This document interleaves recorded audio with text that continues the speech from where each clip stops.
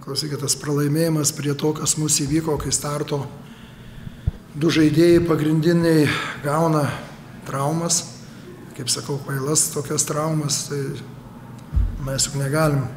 Realiai taip, jeigu paėmus liekam su septyniais žaidėjais, iš kurių du jauni, nežinau kaip mums čia, nežinau, ne, ne ta komanda, ne žalgeris, ne rytas, kad galim iš karto mest pinigus ir vietoj tų žaidėjų kažką tai gal galvosim, bet nežinau.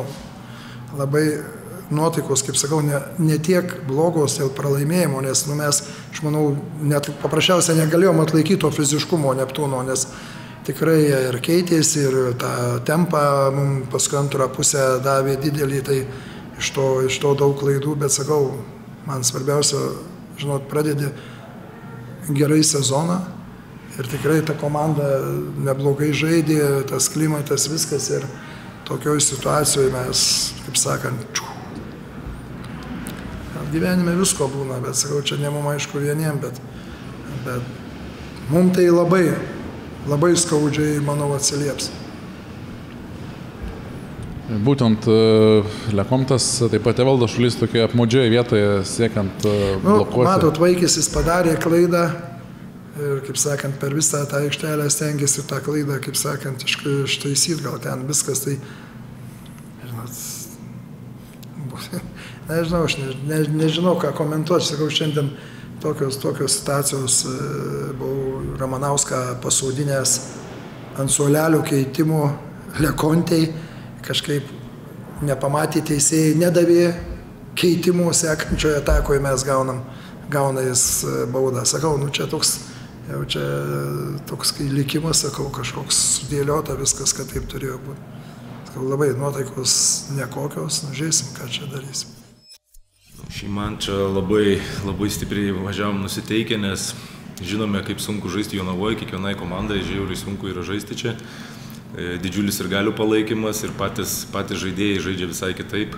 Ir žinojom, kad bus visai kitokios varžybos nei buvo Klaipėdoj. Pirmoji pusėje nesusitvarkėm labai su atkovotais kamuoliais, net paėmė 10 e, reboundų po mūsų krepšių, tas labai blogai, antroji pusė paėmė tik tais vieną. Ir, ir nesusitvarkėm su greitu polimu. Jie tik atsikovojo, užbėgo, užbėgo, mes nesugebėjom grįžti, antroji pusė šitą susitvarkėm ir kažkaip pavyko išplėšti tą pergalę.